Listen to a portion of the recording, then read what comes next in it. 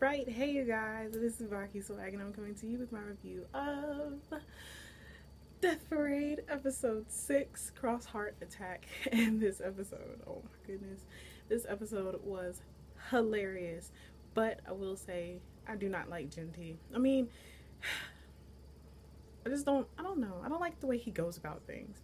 Even though Decim is like a soulless being that has no emotion whatsoever, he's still, in my opinion, he's better than Ginti.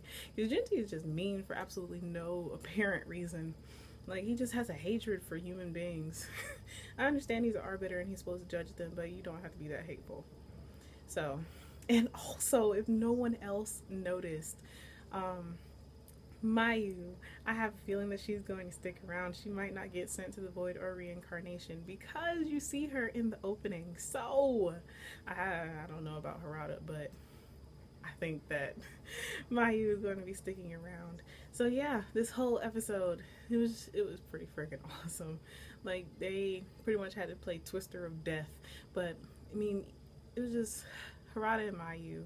Mayu is freaking hilarious. She had me rolling literally the whole episode. Like she was just so freaking funny. And like she showed up late first and then she when she found out that it was Harada that she was going to be playing with, she was flipping out and Harada of course like Harada was pretty much like she's not my type, blah blah blah, whatever, whatever, or whatever. So they were about to start playing Ginti being butthole that he was.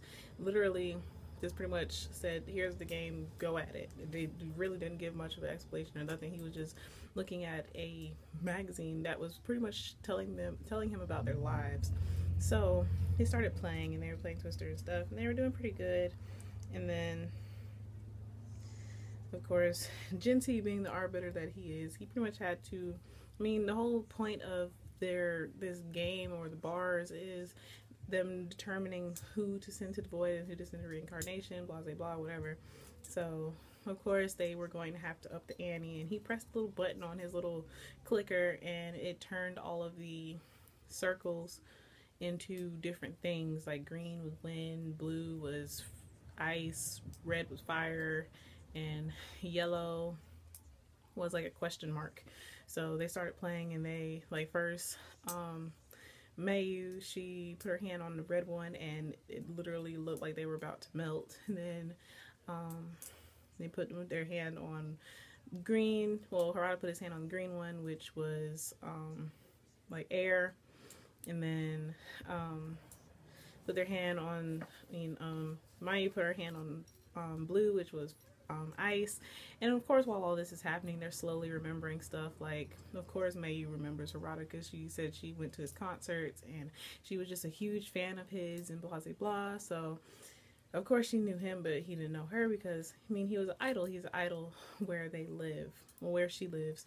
So, um, while all this is happening, she and there was even at one point her underwear was shown to him and he was like they were intertwined in some interesting positions while playing this game and Harada was showing off of course because he's an idol. He's supposed to show off.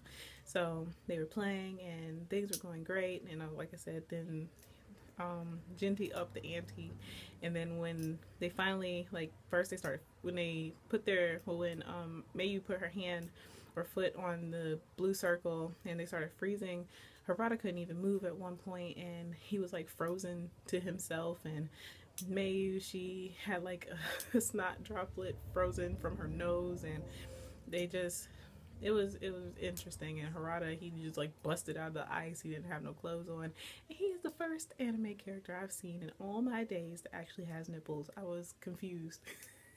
That sounds hilarious but I was confused I really was I was not prepared in the slightest for that one but um, after he put his foot on the yellow circle and they hit the question mark, the floor fell from under them and you can see like spikes at the bottom of a pit and it was pretty much like um, whoever fell first lost because they were going to fall to their death pretty much. So they were thinking and um, Mayu, right before that, she said she had to use the bathroom, she needed to take a break, blah, blah, blah. And of course, Ginti was like, no. So um, she was like, I really have to pee. I don't think I can do this anymore. And Harada was thinking about pushing her. And then he but while all this is happening, he was thinking about going back to his girlfriend Lisa. But it was mentioned that, well, even Mayu said that she had always been a fan of his. Every even when she was sad or down, she would listen to their music, and it would make her feel better. And she just she was saying thank you for always being there to pick her up and blah blah blah. So while Harada was thinking about pushing her, she was contemplating just letting go so that way he could live. So she was like, Thank you, just thank you for always being there. And then she was about to let herself go, and Harada caught her. And he was like, No, I can't let you do this because at that point he remembered he was like dating this girl and he broke up with her. And she slapped him, and he was like, he said i'm sorry i said i'm sorry and it turns out that she committed suicide which was really sad. That really has to suck and they showed him like when he saw that she committed suicide he was like crying. He was like no i didn't want this to happen blah blah blah. And he was like i'm not going to let this happen again he was saying this to mayu. And he was like i'm not going to let this happen again so he saved her like he was literally hanging himself holding onto her hand. He was like, "No, I can't let you go. Um, you have to promise me that you're going to come to one of my concerts again." And he was like, "Promise me, promise me." And she was like, "Yeah." And then she slipped out of his hand and she was falling, and then she remembered herself dying. So while she was falling to her death, she remembered she was like singing to her cat, and she slipped on a bar of soap and broke her neck. I don't know if that's funny or really messed up way to die. I honestly don't know. It was really sad. I really wasn't expecting her to die like that. So while she was falling, she was like, "Oh, I'm dead." And then when she hit the spikes, it was like it was like a little like jelly ball.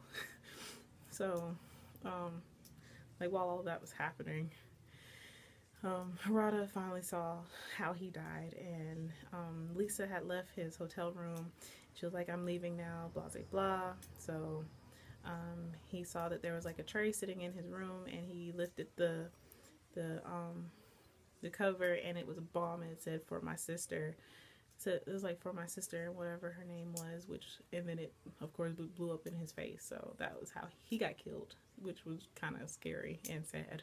So they both remembered how they died and um, Ginti was like, so yeah, now you remember that you're dead, blah, blah, blah. And, um, Mayu just started freaking out and she was like, I need a change of clothes. Everything came out when I was falling, blah, blah, blah. So I need clothes. My panties are dirty and wet. And yeah, so Ginti was like, What kind of human are you? What, why are you thinking about that? You're dead right now. So why are you concerned?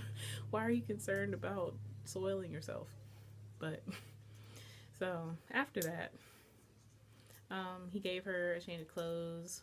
Um, and Harada was only concerned about being dead. He was like, "How can I be dead?" Blah blah blah. And he was touching um, Ginti's dolls, and Ginti was like, "Don't touch that." Blah blah blah. So Mayu came out, and she had washed her face, and she had on a kimono, and Harada was like, "You're my type. You're my type." and then, of course, at the end, oh my gosh, Clavis got so many points for what he did at the end, because at the end Harada finally put on some clothes and he was about to start like performing for them and um, Decim and the assistant were there and Clavis and um, Ginti and of course Mayu and Mayu was sitting right up front cheering and she was like shaking Ginti. Ginti was just so angry. It's like Mayu being happy makes him angry, which I thought was hilarious. And they were about to start performing and Clavis, he, posed like a boss. I was really just was not prepared for that. Clavis became my new my new favorite character after that. So yeah, it looks like Mayu is gonna be sticking around, which is freaking awesome. But I was kind of hurt because they didn't even say who went where. Like, but like I said, it looks like Mayu's gonna be sticking around, so you don't have to worry about her. But they didn't even say where Harada went because Harada was about to push her, but then he saved her. So I don't, I don't know. I don't know where that would put him at. But yeah, this episode was awesome. Oh my goodness, really just was not prepared. So it looks like things are about to get really interesting. So even though I don't like Ginti, this episode was actually really awesome. There was really no like sadness, nothing sad or drastic happened. It was just fun. I like the fun death parade. So yeah, so as always, I love to hear how you guys felt about this episode. How do you feel about the way things turned out? But please remember to comment, thumbs up, and subscribe. It helps me a whole lot. And this is Tsubaki Swag saying adios.